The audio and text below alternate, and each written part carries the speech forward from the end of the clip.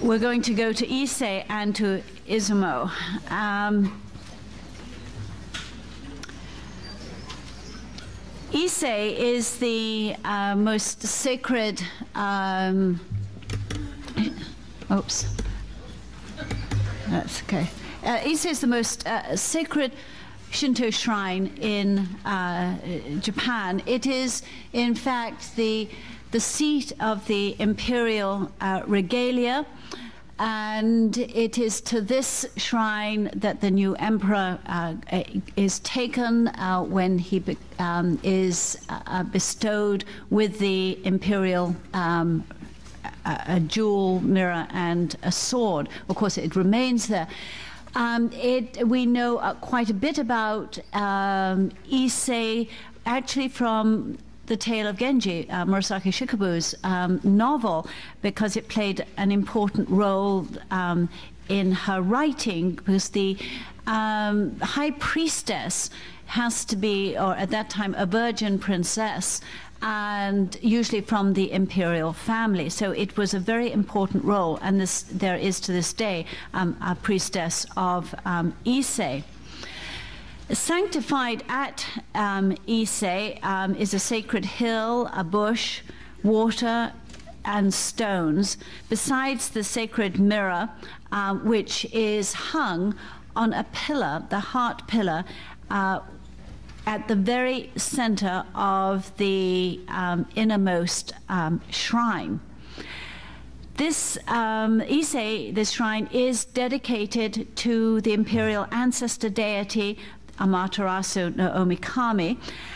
However, it is a very complex um, shrine. It isn't just the sun goddess. In fact, there are two shrines um, at Ise. Uh, the one to Amaterasu is the Naiku, and then the one to um, Toyouke Omikami is known as the Geku.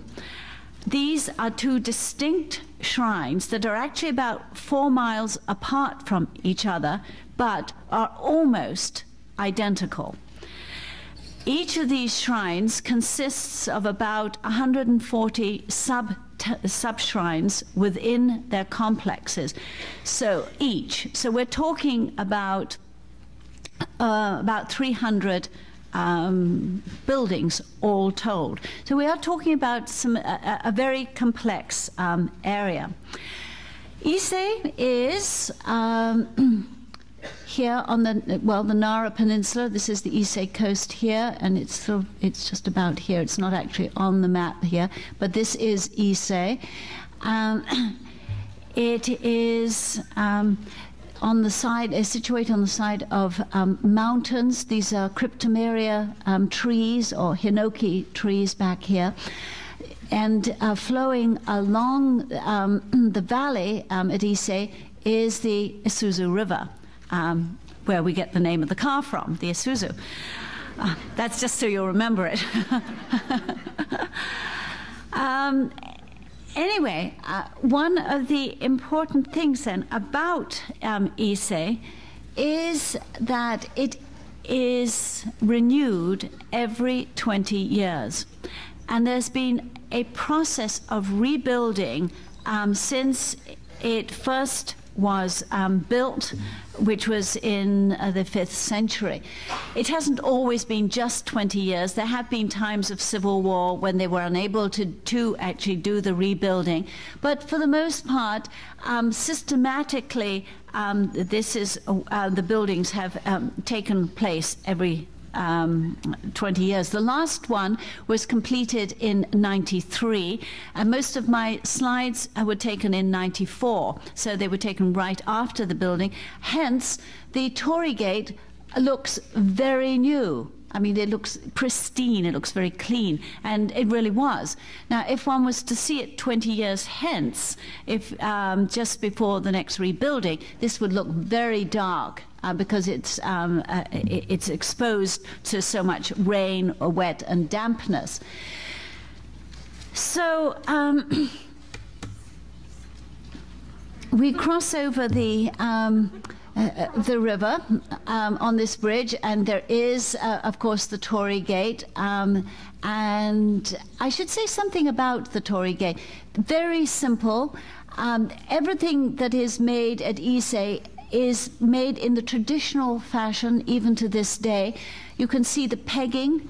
Um, of the horizontal bar here, there are no nails or anything like that used. Um, it's all um, pegged um, and notched. This is the um, shrine of Amaterasu, and um, so here we see the um, the flag, which is the uh, the sun, um, the, the, symbol of the sun on the white uh, background, and sacred to Ise um, are the roosters that uh, uh, sung out the welcoming of the new day when Amaterasu was encouraged to emerge from the rock. So if you see these uh, when you're at uh, these roosters at Ise it's a good, uh, good luck. Um, it's not difficult to see them because there are several of them and they are sort of walking around and they're quite colourful. um, Actually, uh, as uh, Gloria Lanham just pointed out to me, um, there are some uh, shrines um, in uh, Japan and uh, in Tokyo where um, there are multiple torii gates, and they're right on top of each other. So if one torii gate is good, lots more are even better. And you sort of get that sense because um, here they're not actually standing right on top of each other um, as they are in some places.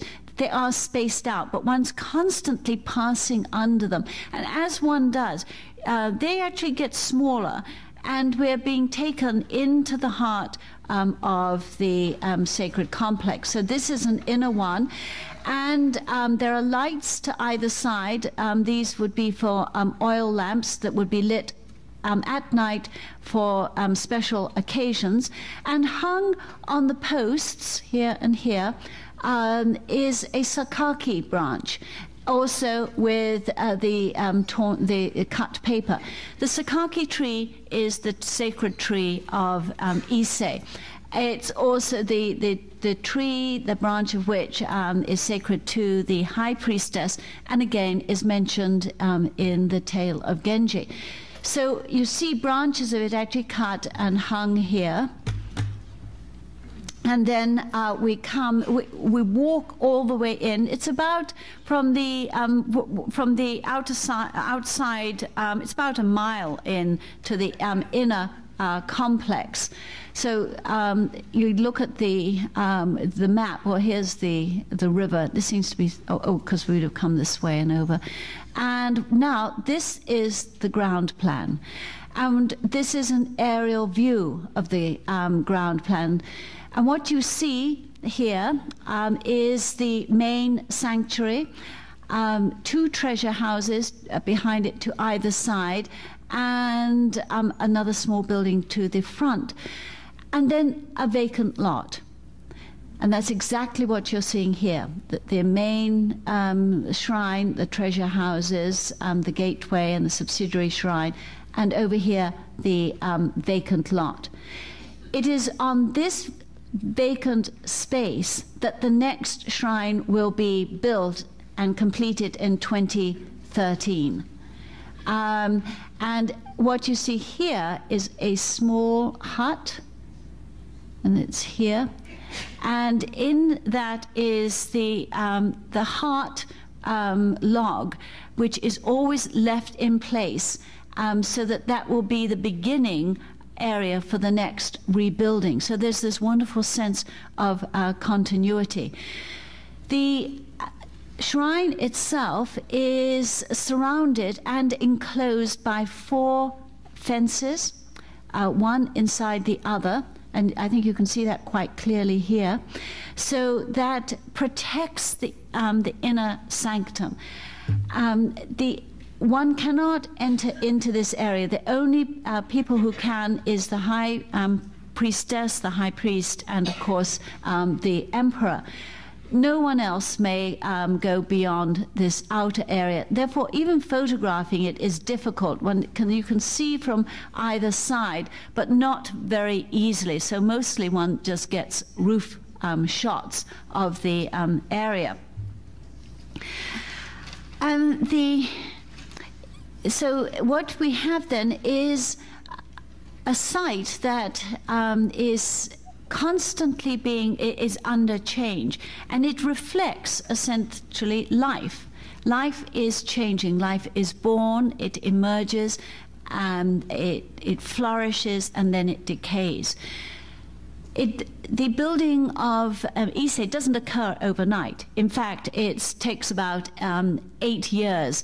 So um, the building for the next uh, the next rebuilding will probably um, start in oh around. Um, 2009, um, let's say, no, no, 13, 2005, uh, probably. Um, and during that time, um, they have to gather together bundles of miscanthus grass that grows on the hills, and all these this grass is used for the thatching of the roofs.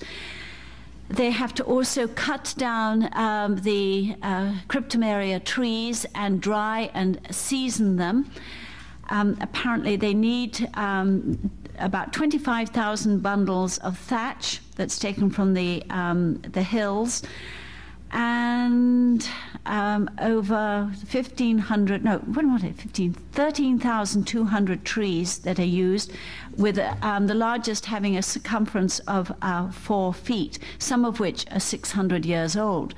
Now, as these trees are cut, then uh, more trees are planted. So this, this um, uh, practice has been going on for many hundreds of years, but they're, they're constantly replacing um, the trees. So there are many, many trees there, and although they're taking trees away, they are also um, replacing them. So Ise is the spiritual center of the whole of the Japanese nation. And it has been and is the Holy of Holies throughout the ages, and it symbolizes eternal renewal. It's a celebration to commemorate essentially the rejuvenization of life, re- rejuvenization of also the kami. It's a way of acknowledging um, the kami. Um, so actually, wait a minute. Why don't I go back to here? Uh, what we have here is the um, the little the heart hut that encloses the um, center um, heart log on which is hung the mirror when it will when it is transferred over. Right now, the mirror in this plan is is hung on the center um, a, a pole in the center of this uh, temple over here. But when this is dismantled, then um, the heart um, post will be will remain, and the mirror will be transferred over to the new heart post that will be erected over here.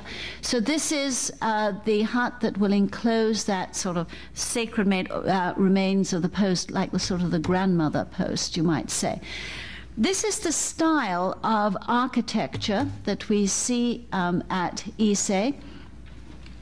Um, the uh, roofs are thatched with the miscanthus uh, grass, and there's a slight concave shape to it. It's very carefully shaped. There is a pole, a freestanding pole on either side um, of the long sides of the buildings. So there's on, on this side and this side. And it's entered also on the long side.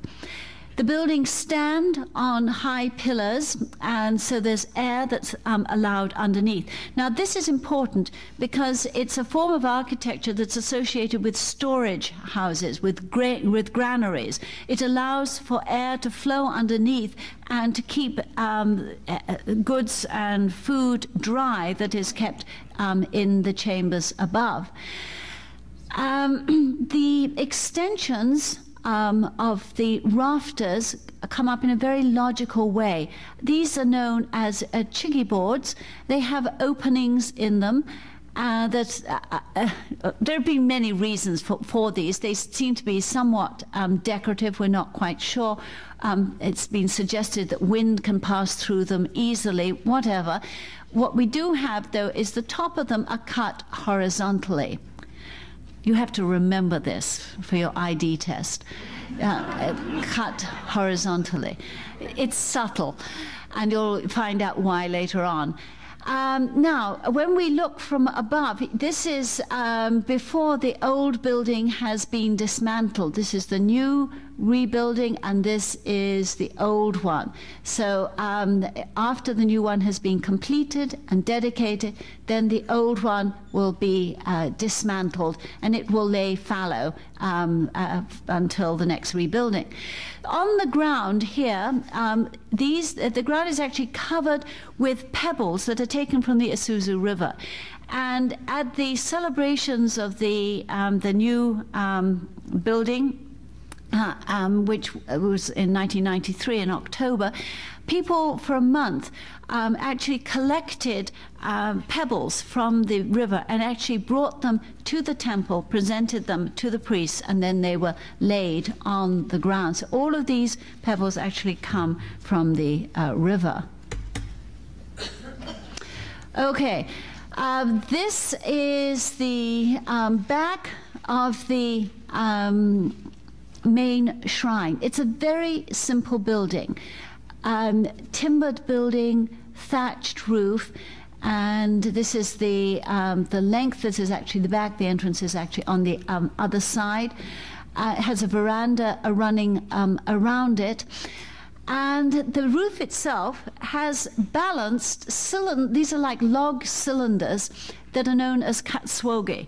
Now, these might originally have been weights that would have been placed on roofs to hold them down, particularly during storms. So it would have just been a sort of a weight to um, secure the roof, pretty much as stones are placed on roofs, for instance, in um, uh, Switzerland. Same type of idea. The katsuogi are like cylinder shapes and then tapered slightly at either end, and then they have um, bronzed and gilded caps uh, placed on them. Today, there's quite a bit of bronze um, on the um, ends of the caps here and here, and I'll show you some colored slides in a minute up here as well. Those seem to have been additions that probably occurred um, later in rebuildings, um, possibly as late as the um, Edo period. But for the most part, the uh, design um, is said to be authentic um, to the um, original plans. Here is um, a shot of the um, four fences. And here you can see the four fences again. And um, now you can see this is um, taken of an older um, building before it was uh, replaced. And the smaller buildings reflect this exactly the same type of style.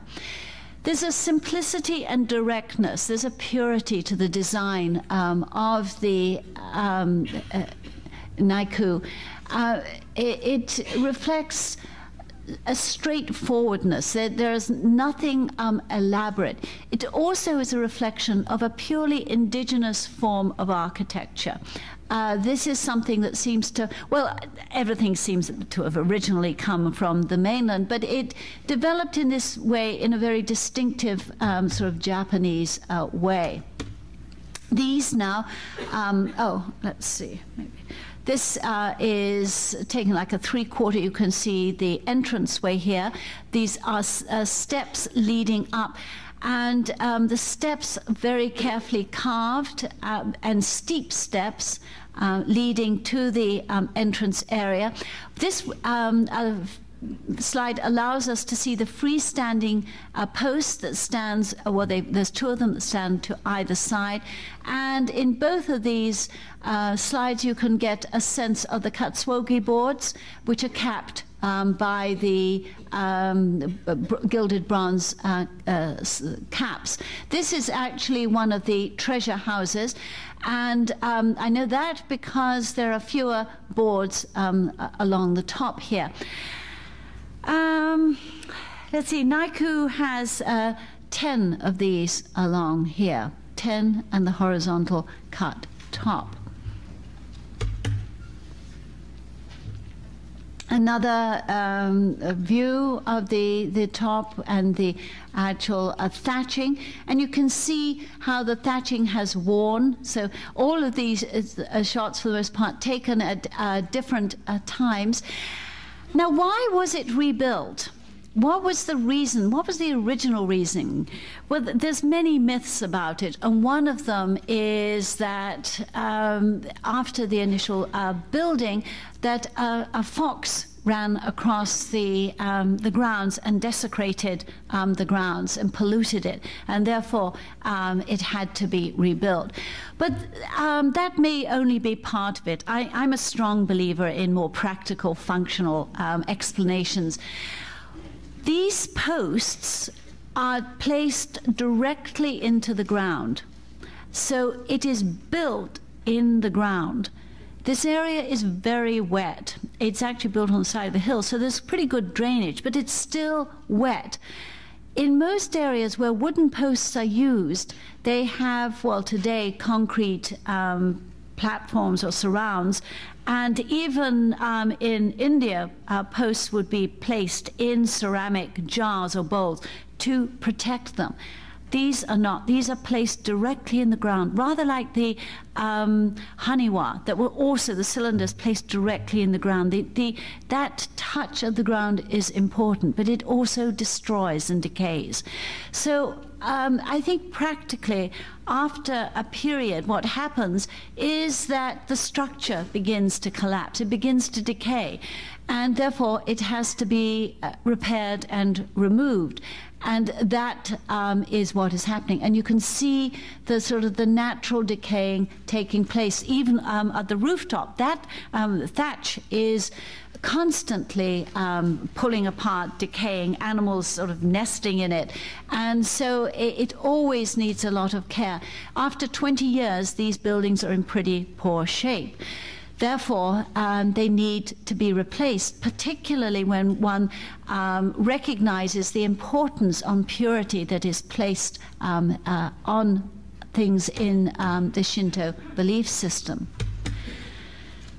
Um, these are just uh, just some more um, uh, views of uh, some of these are actually let's see one two oh the, yeah this is the back of the um, the shrine with one of the um, uh, treasury houses. And surrounding um, the outer areas are um, other uh, rocks and trees. And um, you see these trees have bamboo tied around it. These are like skirts um, around the base of the trees. And so I thought that this was uh, quite beautiful and uh, was another sort of sacred um, uh, reference like the Shimenawa. However, Apparently not. That this was to protect them from insects. There was some sort of insect infestation. so I, I, was trying to, to give it some sort of meaning, uh, but um, this was just actually to protect them at this time. Uh, here is uh, one of the small um, outer shrines, as you uh, can see here. Um, and uh, this is uh, a stone, just of a, a kami stone, that uh, is deemed um, sacred. So it's being uh, marked off by the um, this sort of sacred fence. Um, so. And we see a lot of this um, all around uh, um, the complex. And this is leading up to some of the subsidiary shrines. As I said, there are, are about there are 140 um, subsidiary um, shrines, many of them dedicated um, to uh, agricultural um, kami, to food um, uh, goddesses. Um, each of them has a, a special dedication, and Let's see, here um, are some black and white uh, shots to show you some of the details. Um, I, I, think this is quite beautiful here, where you can see how the um, thatching is uh, cut and trimmed to give it this very sharp edge. And then underlying it, supporting it, um, is a stronger layer um, of thatching. See, uh, under here. Then um, here, what we can see is the the wood, um, all joined wood, and then the ends here have these um, relief worked, bronzed, and gilded caps. And the same you can see over here as well. So attention to detail is very important. Are those nails in those end boards coming down on the right-hand side, right down the, This, you know, down the halfway, or two dots, or like, there, no, we're in the right beam. There.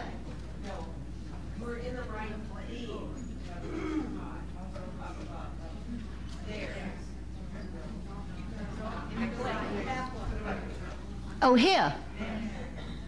The- These probably, well, those are holes, these probably are to hold the, the, the- the cap in. In fact, there's a wonderful um, film. I have a video, um, actually, Brian, I'm, I might, um, I might talk about sort of showing it at some time on um, uh, Ise. And what is interesting is everything is done using the time honored um, traditional ways th- with um, the uh, traditional hand um, tools. However, they're not above now using um, electric uh, saws and drills and things, uh, and the, uh, they, they're keeping up with the times. But the actual um, joinery is still done without the use of nails. But I think these are, in fact, probably, um, uh, they should be cinched on, but those definitely look like some nails. So, um, there is a certain leeway uh, that's experienced. Now, um, the reference uh, is goes back um, to the uh, Kofun and um, actually Jomon period. If you remember the that um, the pit dwellings that I showed you last time, uh, they were covered by um, thatch uh, roofed areas. We also see similar types of buildings occurring in mirrors. Now, this is a, a mirror from the um, Kofun period. In, and this would be uh, very much um, in the Japanese style. So this is made in Japan, and on the back are four buildings, each of which has a form of thatched roof. This is an, you're looking at this one upside down, but it's um, this is the top of the thatch, and then this is on its side. It's on its side, and this is um, on the top. So the thatched um, roof is um, something that has gone back many years, and now.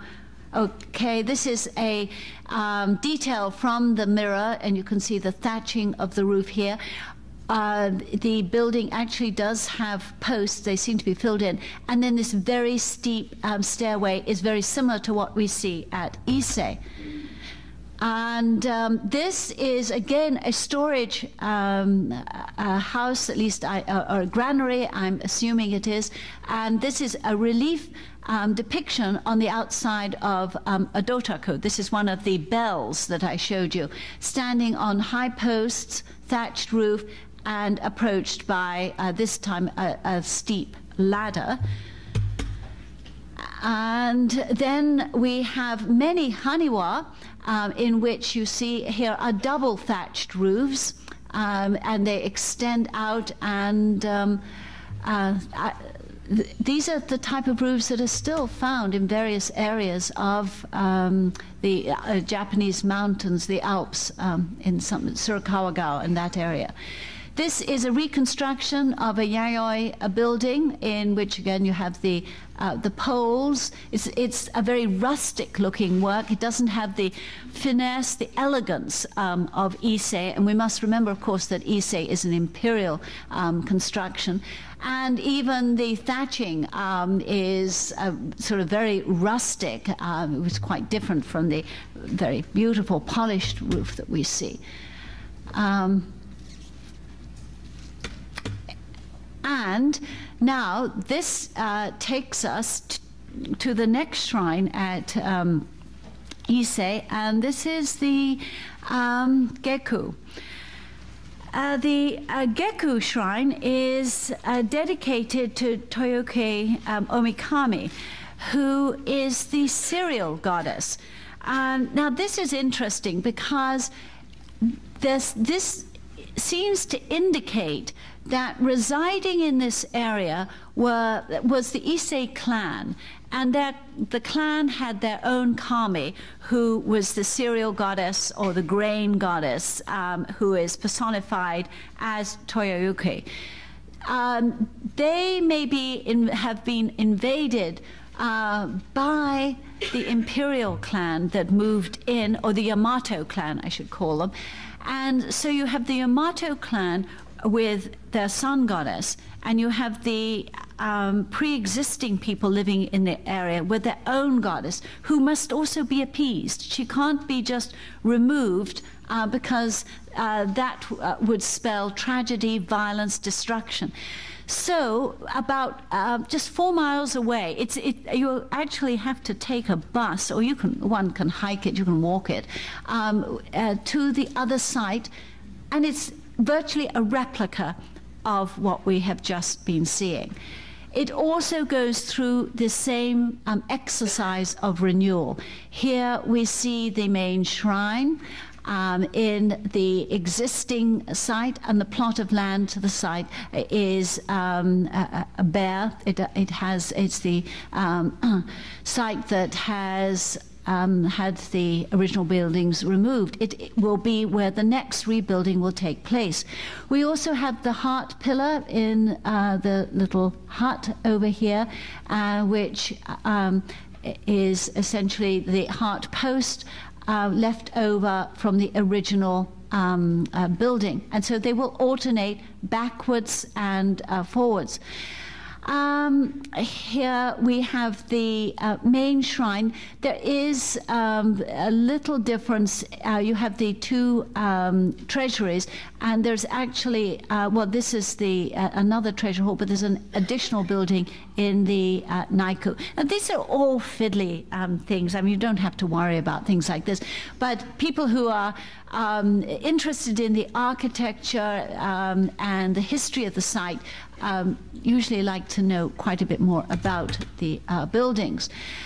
One enters through a succession of uh, torii gates, uh, very similar to uh, um, those for uh, Naiku. And then one comes up to the actual inner shrine, and these are leading to that. And actually, you can get quite a bit closer to this one. You still can't go right inside, but uh, one can go into this this far. This one on the uh, right is a little out of focus, and um, this and here you can see uh, the rooftop. Okay, that. Mm. Oops, okay, that's okay. Um, and as you can see, it's thatched roof, katsuogi boards, and then the chigi boards as before. Uh, here are two uh, views of the um, heart stone um, or the heart pillar in a little um, hut here and here. Now, these are actually from um, uh, from outs- outside um, in the um, Geku area. The, these are not the actual Geku itself. That because each of the subsidiary shrines also were rebuilt onto alternate sites. So it's an amazing um, undertaking. And here, I, I, think this is very interesting too, is seeing the different colors of the uh, stones that been that um, are marking out actually the fenced areas. Um, details of the uh, geku, um, and the, the elements are essentially uh, the same. Um, the, the design is the same. Look at the same tapering of the thatch, the convex, uh, sorry, the concave um, uh, shape of it. The Very subtly done, very carefully cut. Um, nothing rough about this at all. Now, here, what I'm doing is comparing the um, Naiku uh, with the Geku. Uh, the Naiku has, um, as I said, 10 katsuogi. The um, Geku has um, nine. So it's sort of a subtle difference. Uh, the Naiku's uh, chigi boards are cut horizontally and the Gekus are cut vertically. Now, it doesn't matter where you are, everything always resembles the, the home. So here we would always know that we were in the um, Geku uh, um, complex because of how the chigi boards are cut.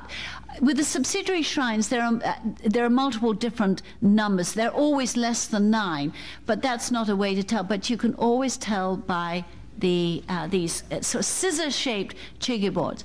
Now, also, this is, these chigi boards come uh, to resemble scissors that sometimes are just placed on the top of a roof, but they also become the way in which we um, can identify a Shinto shrine.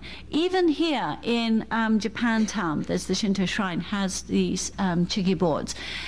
Uh, I shouldn't say absolutely always, but it is a very distinctive mark, and uh, this is we would never find these on top of a Buddhist um, temple, uh, for instance. Um, what is interesting too is that they are extensions of these rafters. As you see them coming up, they are logical. Everything at Ise is logical and meaningful. Uh, there is a, they have a function. And later on, they'll just be sat on as appendages and they just sort of become almost decorative. But at this point, um, they, they definitely um, have grown out of a functional use. Uh, The thatched huts that you showed us reconstructions of also had the boards. Yes. Yeah, they all have tiki tiki boards, and you can tell where they come from as to whether it's vertical or horizontally cut. Um, okay, what I thought I'd do is just show you some plans. Um, here you can see this is the um, side view of um, the Naiku, or to the sun goddess, to the earth goddess, the Geku below. Uh, main difference um, being uh, by the shape of these extended uh, chigi boards here. Um, in the uh, diagram, you can also see very distinct uh, sort of tapering of the roof at the top, widening down um, below, and then it's not cut off horizontally, but is cut off at an angle. And you know that is important because that will allow the water to flow down, the rain flows down, and then it will fall down beyond the um, veranda. So it's to sort of like protect it, very carefully uh, thought out. Again, now these um, uh, is the, the frontal views, um, the entrance of both, uh, one uh, just having one more board, Katsuogi board at the top than uh, the other.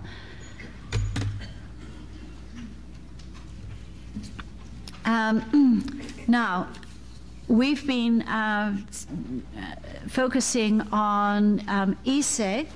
However, uh, we need to also now move to Izumo, uh, which is um, on uh, the sort of northern coast, um, let's see, of Honshu here.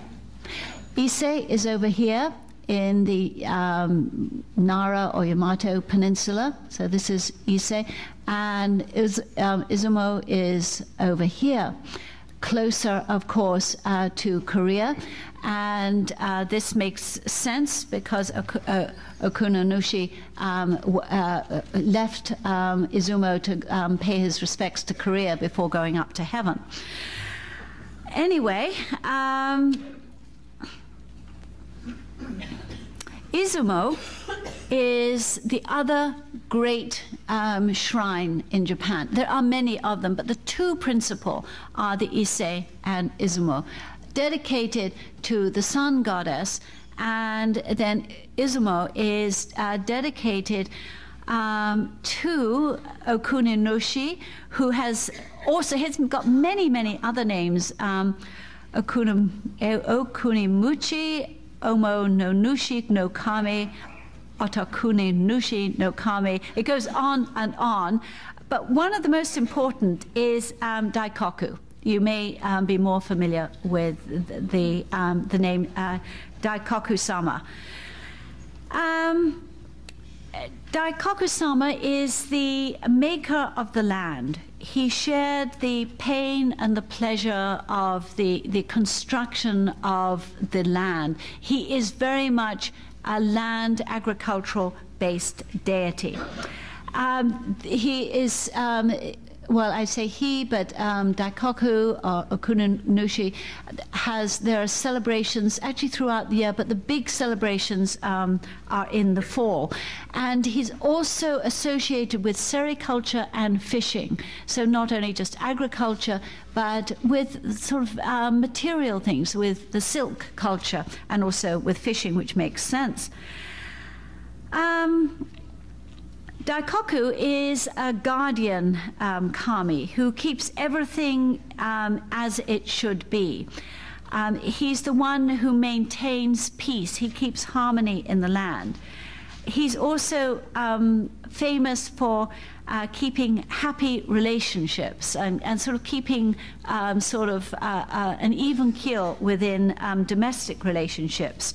This includes marriages and all relationships between people, um, uh, which can extend out to professional um, uh, interrelationships. Um, Daikoku, uh, therefore, um, was actually um, the descendant um, of Sun, um, uh, uh, of the um, sun goddess's um, younger brother. And um, she then, of course, entered into this agreement that Ninigi, her offspring, in fact, would be the ruler of Japan. And then Susanoo sort of took off and, and then went back to the heavens. But when um, Ninigi uh, descended and she gave him all of the um, regalia, she also said, um, Now that you have finished your enterprise of uh, taking this land, my descendants shall administer the affairs of state, and you shall deliver the virtues of relations, so that people can lead a happy life. I will build your house in the same architectural style as mine, called Amenohisu Mino Mia, with long and big pillars and thick and broad planks. My second son, Amenohiso no Mikoto, shall render services to you and guard, guard over your house forever. So, by order of Amaterasu no Omikami, the gods came together to construct a grand shrine um, to her son. And Okuninushi was then um, moved out and he went to the heavens. Now, this is all according to the um, Nihon Shoki, which is the earliest chronicles of Japan. They date to about the 8th um, century. So uh, again, there seems to be a, sort of a political situation that is occurring. The establishment of um, the uh, peoples in this area um, and the need to have a Yamato um, base, and also a need to accommodate um, this somewhat edgy god who uh, may come back. And uh, what better way than to build a grand shrine? Izumo, um, its history goes back um, to at least the uh, 5th century and uh, possibly earlier. It is not, though, rebuilt in the same way. According to the Nihon Shoki, um, uh, and uh, that it, it goes back, say, to at least the 5th century. Then uh, we have another reference to it in the 950s, which is the Heian period, where it uh, was described as being the main shrine of this area. And uh, it was rebuilt at this time. It also gives us uh, dimensions. Around 1200 in the Kamakura period, it was again rebuilt uh, at which time the main shrine seems to have re, re, been reduced somewhat. And then in 1744, again, it was reconstructed. That's in the Edo period. So what we see today is the Edo rebuilding of it. And uh, this is a ground plan. And uh, here is um, can it be focused a bit on the right, please? This is the entrance, this with um, the, uh, torii gate. And to the side is a tree with one of these aprons with it tied uh, with the uh, sort of wish granting papers um, on it. as we enter in, um, oops, let's see. Okay, um, this uh, actually is uh, what it took. Um, this uh, is what it looks like. That um, this is not my photograph. It actually comes from a book, but you can see multiple roofs, and um, the roofs um, are different. It's no longer um, a thatched roof, but they're very fine cedar uh, shingle. So it's a, like a shingle roof. And on the top of the roof, you see the chigi boards are just sitting there like crossed scissors. They, there are just uh, three katsuogi boards. So these are just sort of um, almost like decorative references. Um, there's a, a, very fancy acroteria here. Also, the shape of the roof is distinctively different. It's concave instead of convex. You see, it flares out instead of sort of curving over. You know, there's the encompassing feeling of Ise. This one is more sort of taking off. Unfortunately, slides don't give a sense of size, but um, Ise is very small. It's human size. Um, Izumo is enormous. It's very, very large. Standing high on very high pillars, um, in a similar um, way to Ise, but it is actually enclosed um, underneath. Um, let's have a look. Okay. Uh, it is um, entered from the short side, Ise from the long side. Um, it's entered from the south. The south is the auspicious area, the area of the sun, the warming area. The east and the south are the auspicious um, sides. And then when one, when one enters in, there's actually a passageway that you go around. So you actually walk around, or one doesn't, uh, one, there isn't access to it except for the priest, but this is what happens around, and you walk around. And then painted on the ceiling of this area um, are nine clouds. Um, Izumo uh, means clouds, and so this is the, um, the, the shrine of the clouds, and actually, so painted in there is the reference to the uh, clouds. And then uh, there's this altar here, uh, which is the altar to receive the kami to receive the, the kami that are sacred um, to this area. I hesitate to use the term gods as it's written here. I, it, it, we really are not talking about sort of a god in, in the way, uh, sort of an anthropomorphic way that we consider a god. This is the um, entrance up the very steep um, stairway, and across the entrance is this beautiful shimenawa uh, out of made out of rice straw with the uh, cut paper hanging from it. It's very sort of distinctive indicating, of course, that we're entering into this sacred area. Now, it may not have been rebuilt, but um, it actually has been constantly restored. Repairs are being made to it. Um, if, if, you go there, if you visit, um, there's invariably one part or the other is um, under restoration. Uh, this is the uh, back view. So um, this is the entrance, and then um, this is the back view, which in silhouette is, is quite beautiful. It's a very elegant um, shape uh, that we see there. And um, this then is the aerial view. Um, in which we can see the top of the um, shrine here, uh, the, with the cedar roofs, uh, distinctly different again from the, the thatched roofs of Ise. And this is another view of it. And I'm comparing it now to um, Ise. So immediately you can see how the roof has been uh, treated, the thatched here um, in that, that, sort of concave way. Here um, it is, uh, oh, say convex, this is concave. Um, see how the chigi boards just sit on there? Just, just perched on there, like little birds, actually. But this way, um, it's much more functional, makes much more sense. Um, it's logical, the building here. And um, in uh, Izumo, then uh, you get sort of a stepped arrangement of the interlocking roofs. There's a fussier treatment to it. The roof is very large and heavy in relationship to the building underneath it. Um, it isn't quite as well sort of coordinated, I don't think, um, as Ise. Ise uh, has a purity to it, which um, sort of personifies what it is, um, or sort of it's really what is essentially um, Japanese. I mean, it's that sense of restraint, whereas Izumo is um, the, the, sort of the decorative, the, the Momoyama style, if you will. you'll, you'll find out what that means uh, sort of eventually. Um, let's see, I don't know why I had that on there. No, I think, okay. okay.